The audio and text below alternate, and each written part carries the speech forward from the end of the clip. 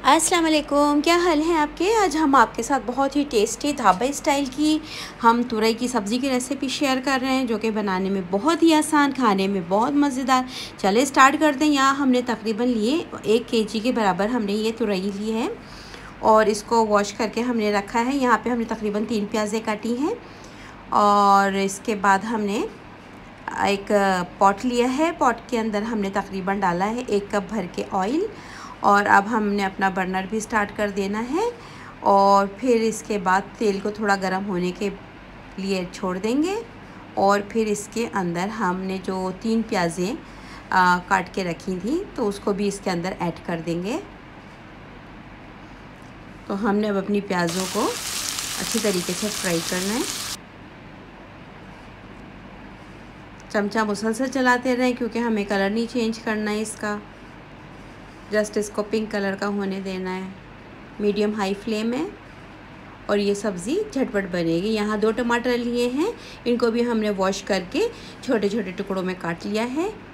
जबकि इसके साथ हमने ये तकरीबन दो टेबल स्पून भर के अदरक लहसन का पेस्ट भी लिया है। हमने अपनी जो तुरई है, उसको हमने वॉश कर, इसको फिर हमने छील के काट लिया। अच्छा यहाँ पर हमने ना सब्ज़ी के कुछ मसाले लिए हैं। तो यहाँ पे तकरीबन ये हमने ना दो टेबल स्पून भर के लिया है ये सब्ज़ी मसाला जो हमने बनाया था वो मेट तो इसका लिंक जो है हम आपको डिस्क्रिप्शन में दे देंगे। तो ये तकरीबन दो टेबल स्पून भर के हमने ये सब्ज़ी मसाला लिया है, जबकि हमने एक टीस्पून भर के ज़ीरा डाला है, एक टीस्पून भर के हमने नमक डाला है, एक टीस्पून आमचूर पाउडर है, एक टीस्पून भर के हमने हल्दी डाली है, और तकरीबन एक टीस्पून भर के हमने ये रेड चिली पाउडर डाला है। तो ये तमाम के तमाम इंग्रेडिएंट्स हमने ये अपनी सब्ज़ी में डालने हैं।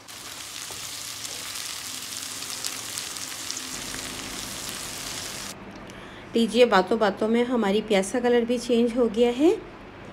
और अब हमने अपना जो मीडियम हाई फ्लेम था, उसको हमने मीडियम हाई ही रखा है। और अब इसमें हमने तकरीबन दो टेबल स्पून भर के जिंजर गार्लिक पेस्ट भी ऐड कर दिए हैं। अब ने इस, अब हमने इसको भी अच्छी तरीके से मिक्स करना है। हमारा जो प्रोसेस है वो कंटिन्यूसली चलता जा रहा है। तो अब हमने अपने अदरक लहसन को भी अच्छी तरीके से प्याज के साथ फ्राई कर लिया है, मीडियम हाई फ्लेम पे।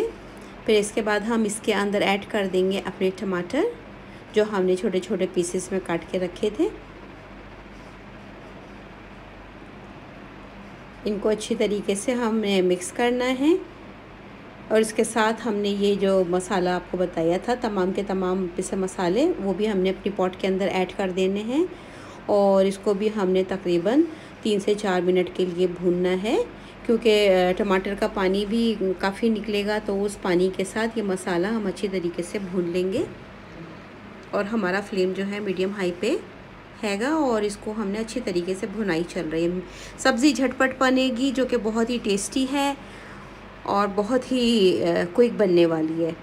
अच्छा फिर हमने तमाम का तमाम मसाला अच्छी तरीके से मिक्स कर लिया है।